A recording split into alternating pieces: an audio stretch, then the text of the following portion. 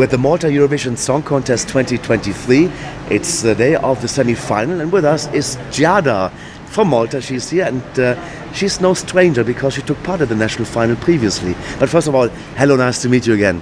Hello to all the followers. Um, uh, yes, it's finally the day. We've been preparing for so long, and I actually can't wait to perform for all the viewers tonight. But uh, before when we met, it was Jade, right? So wh- why the name change?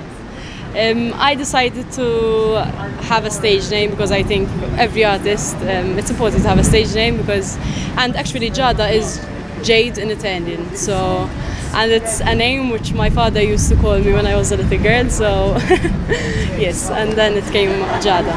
Fabulous. But one other special thing is that you and your daddy have you're competing in the same semi-final that has never been in the history of the Eurovision Song Contest. Yes. So how does it feel to to uh, do that? Like, like you have a problem with your daddy, you're fighting, or you're happy when he goes through, or he's happy when you go through? No, uh, basically, like two years ago, we had the chance to compete uh, in a festival, Maltese festival, um, but we were together. And this time, yes, we're um, competing against each other. Honestly, I mean, it is a little bit awkward, I cannot lie, but uh, I'm happy either or. At the end of the day, he's my father, he was my guidance since I was three years old, and I depend on him a lot. so, uh, That was a I'm- very I'm good, happy. very good hint because the song is called "I Depend on You." So tell us uh, about the song, the message in it, and uh, yeah, what it is about. Basically i depend on you um, it talks about that it doesn't matter from which part of the world you're coming from because at the end of the day everyone should be able to depend on each other in order to have a much more peaceful um, life so Okay, and who, who wrote the song? Were you part of the creation of it?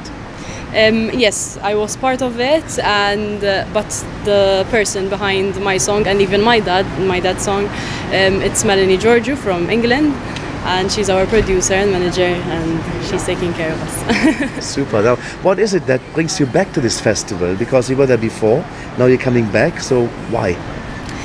basically i believe that eurovision is a big platform for every artist um, it's not always about winning because a lot of people watch this and you don't know what can come out from, from your performance um, the first two years were about dancing and singing this year i focus more on my vocals which i'm literally very happy about and uh, i'm more excited actually uh, for the reaction of uh, my followers to watch it tonight Yeah, dancing and singing. So what is your preference in that one? You, you prefer more to be a singer or a dancer?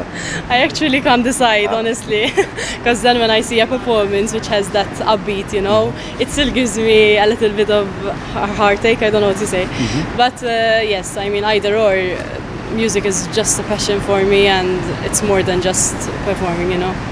Uh, I know in Malta many of the of the singers have also got a different job or other other things they're going to do as well uh, besides of singing. So what what do you spend your time with when you don't sing? Dancing? No, I'm actually a junior universal banker, so I work in a bank. and honestly, yes, sometimes it is a little bit difficult to like balance everything out because a full-time job is uh, obviously takes a lot of time. Um, but as I said, music is so important to me that I can't just leave it on the side. So you need to find time for everything. Exactly, it's very important. I think for me, also music for me is the first thing I switch on in the morning, and just to sing along with it and and uh, have a good day. Basically, that, that that's what, what it does.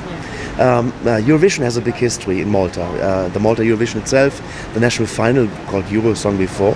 What are your first memories of uh, the Malta Eurosong?